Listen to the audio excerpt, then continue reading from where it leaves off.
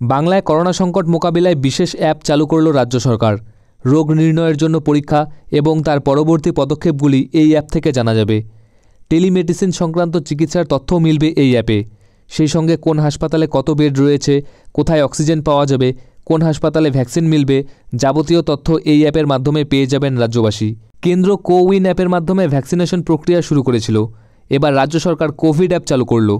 মঙ্গলবার থেকেই বাংলায় চালু হয়েছে কোভিড অ্যাপ। গুগল প্লে স্টোরে গিয়ে কোভিড নাইন্টিন ওয়েস্ট বেঙ্গল লিখে সার্চ করলেই এই অ্যাপ পাওয়া যাবে।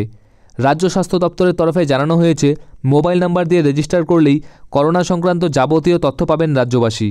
রোগ নির্ণয়ের জন্য কীভাবে পরীক্ষা করতে হবে, পরীক্ষা করা কতটা জরুরি, তার পরবর্তী পদক্ষেপ কী হওয়া উচিত, সে বিষয়ে সব তথ্য পাবেন।